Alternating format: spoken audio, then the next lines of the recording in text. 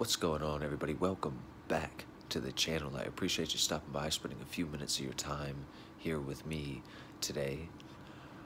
I've been thinking a lot recently about temptation, and I have quite a bit of experience with temptation.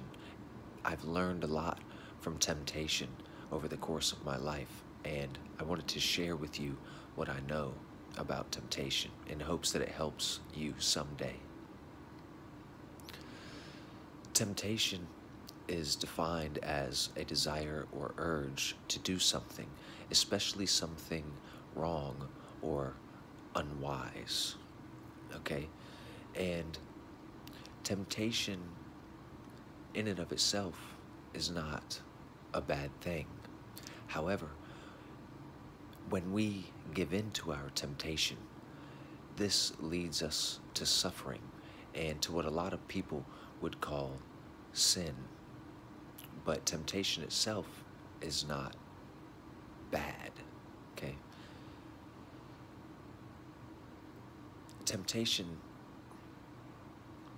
especially shows itself when we find ourselves at like a spiritual crossroads, meaning that we're making a decision or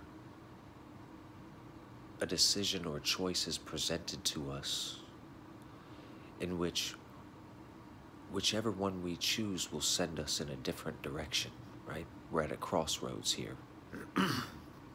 this is when temptation really shows itself, when we're trying to make life altering decisions, all right?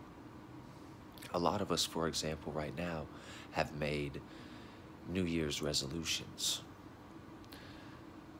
a lot of people are planning on starting or stopping certain things, right? Like, I am going to stop drinking, or I am going to stop eating fast food.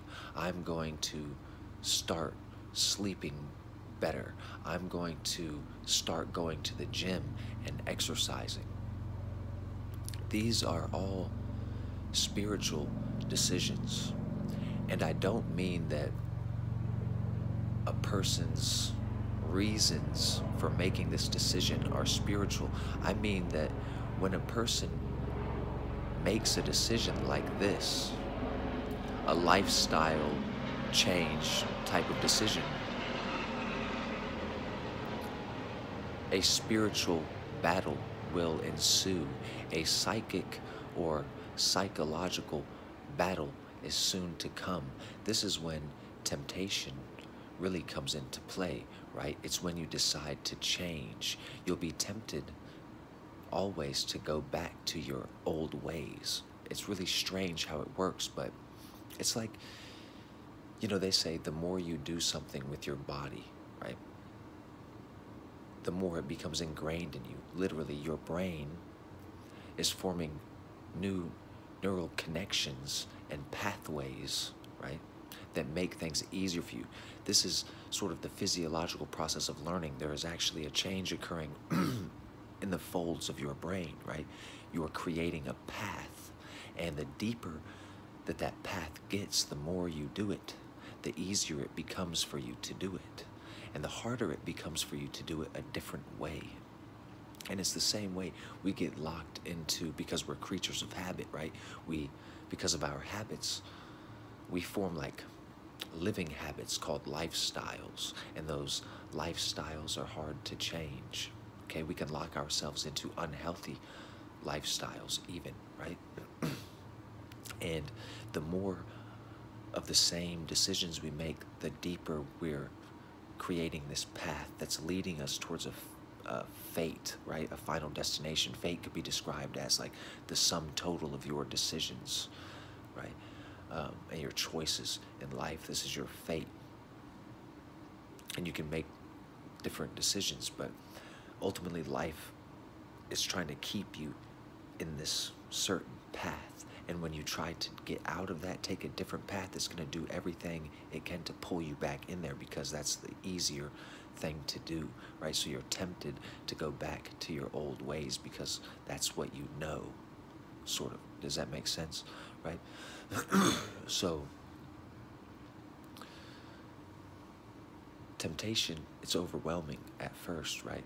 It's hard to resist, but every time we resist, we become stronger. And you can resist. There's a Bible quote about this that I happen to agree with. It says, God is faithful. He will not tempt a person beyond their own strength.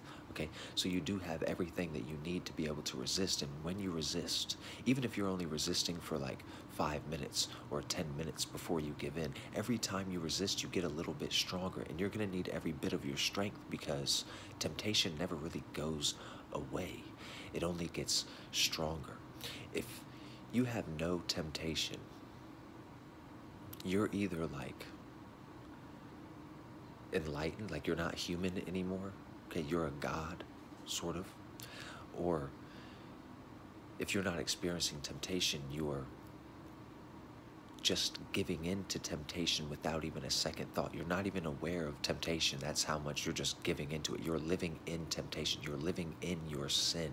Okay? So, this is why temptation is a good thing. It's a good sign. When you are presented with temptation, this means that you are where it provides evidence, a sign that you are moving further away from your sin. As you move further away from sin, the more temptation tries to pull you back. You see what I'm saying? The more temptation is there. It's it's strange how it works, right? I'll give you a story so you can see what I mean. Before I moved to Texas, right? I moved here probably like nine years ago. Before I moved here, I was on hard drugs for some years. And I had done about a year in county jail in Florida. And while I was in there, I decided that I wanted to change my life. I didn't want to do drugs anymore. I wanted a different life. But since a young kid, like my first teenage years, I started experimenting with drugs. That's all I had ever known. You know what I mean? That's how it felt. I didn't know how to do anything different. I just knew I wanted to do something different. And it was close to my release date. And I was excited. I was going to leave Florida jail, go straight to a Greyhound bus station, and go straight here to Texas. Okay, that was the plan. I got released with another dude, right? And somehow, when we, I mean, we walked out of the doors together. Okay, somehow when we walked out of the doors, this dude already had a blunt rolled like magic or something. It was like he had a blunt that was in his personal property. It was like in his clothes or stuck in his wallet in some way that when they got his stuff during his intake process, they didn't find it. So he was released with a blunt. And so you see how immediate temptation is there? He was like, hey, I've got this blunt. You know what I mean? you want to smoke? And I'm like, what? How? How do you have this already? You know what I mean? And I, I'm like, in my head, I'm like, this is odd. And I, I declined because I knew my mom was coming to pick me up to bring me to the Greyhound station. I can't get in there blitzed out of my mind. You know what I mean? So I made it to the Greyhound bus station and, you know, started this long ride from Florida to Texas. And we stopped at this place in Arkansas, Little Rock, Arkansas at the Greyhound bus station, and I was getting off. We had a slight layover. I was going to walk. This was the middle of the night.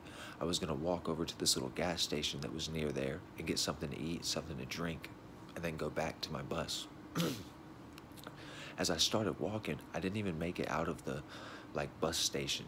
This person stopped me and said, "Hey, I got these Xanax. I'm trying to sell them. They're only like two or three dollars a piece. I just need to buy some cigarettes."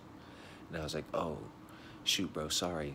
Uh, I'm not buying those, but I can buy you a pack of cigarettes. And he was like, snapped at me, was like, you didn't hear what I said? I'm trying to get rid of these Xanax. And I was like, whoa, like, all right, I can't help you. And I just started walking. As I started walking, I'm getting to where I can see the gas station, okay? And it's dark outside. Like I said, it's actually starting to drizzle. You can hear thunder sort of rolling in. Ominous, like this person materialized like out of the bushes. They were a couple inches taller than me. I'm six foot tall. This was a tall person. He walked up to me. I could see he had this lazy eye, like a blind eye that was pointing a different direction. He walks up, says, "Hey, young blood, I'm Catfish." I'm like, "What?" Like at first, I don't even understand what he's saying. He's like telling me his name. He's introducing himself as Catfish, and I was like, "Oh, okay. What's up, bro?" And he was like, "Would you mind buying me a hot dog and a drink from the store right here?" and I was like, "Oh yeah, I got you. Come on." And he stopped me as we were walking. He said, Look, young blood, with the five or ten bucks you're going to go in here and spend on food for me, I could take that up the road and get right. And I understood what he was saying. And I was like, whatever, all I got is 20s, bro, but here's a, here's a 20, do your thing. He was like, okay, cool, thanks. And he took off. I walked to the gas station. Another person stepped out and said, hey, bro, do you think you could buy me a hot dog and a bag of chips? And I'm like, what is this? Is this the neighborhood hustle or something? And I was like, yeah, bro, I got you. Come on. Well, this time he actually came with me, went in the store. He made himself a hot dog, grabbed a bag of chips, walked up to the counter, and the cashier looked at me and said, who is this for? When I was going to pay for it, I said, oh, it's for my buddy right here. And he was like, oh, you guys can just have it. And he just gave us the food. I was like, all right, that was cool. Now I leave. I'm walking back to the bus station, and Catfish materializes again, pops out on me. He's wearing like a trench coat, bro. And now behind him, it's starting to rain a little bit harder. And behind him and behind me in the sky, lightning is flashing. It's like semi illuminating his face. And this thought hit me. Like, right, I was like, bro, this is the devil. Like, not that this guy uh, was evil or something, but my mind at the time, I'm not as mature then as I am now. So my mind, I was like, bro, I'm looking at the devil face to face. He walks up to me and opens up his hand and shows me the crack rocks and is like, look, bro, there's plenty of more if you want to come with me. And I'm like, hey, dude, any other time as the lightning is flashing and thundering is booming, I'm like, any other time, catfish, I might go with you and my adrenaline is pumping. I don't know what's going to happen. I'm like any other time bro i would go with you and party but i got 10 minutes to get back on my bus. I can't afford to miss it bro. You know what i'm saying? So i got to take off and i just started walking. I didn't wait for a response or anything. I just took off. I got back on that bus and that entire ride i was released from that jail with $400. I had $400. I spent all of that on these two girls. They had kids. Every time they got off the bus, I got off the bus with them. We started talking on the bus. I just followed them every time they got off. When they went to the gas station, I bought their food. Um, you know, every whatever they wanted, little toys for the kids. I spent nearly all of that money just buying snacks and drinks for people on the bus and giving things away like this because I was scared really of what I would do if I had this money because it was hard for me to say no. When I saw those crack rocks, bro, it's like I could taste them or something like that. You know what I mean? But I made it all the way to Texas without getting high, and I feel like it was a it was a moment for me, right? It was a huge test, temptation. That's what temptation really is. It's a test.